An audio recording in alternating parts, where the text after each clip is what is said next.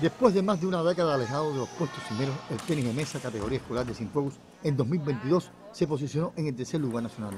Para el 2023, las pretensiones de los de la Perla del Sur son las de mantener o mejorar el resultado del año anterior, lo cual constituye un reto para los dos atletas sin experiencia competitiva de la provincia que concursarán en la cita colegial y para la debutante entrenadora, practicante de deporte e hija de un reconocido instructor del territorio, quien cuenta con el apoyo de sus compañeros. Con la vista puesta en el certamen, atleta y entrenadora dieron sus consideraciones del trabajo que realizan y sus expectativas.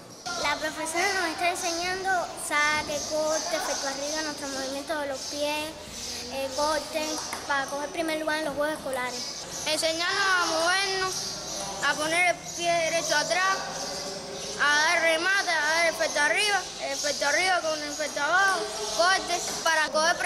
Estamos entrenando ahí día a día con bastante esfuerzo para tratar de mejorar el resultado del año pasado, que fue un tercer lugar. Es el primer año de los niños en competencias nacionales y mi primer año como entrenadora también en competencias nacionales.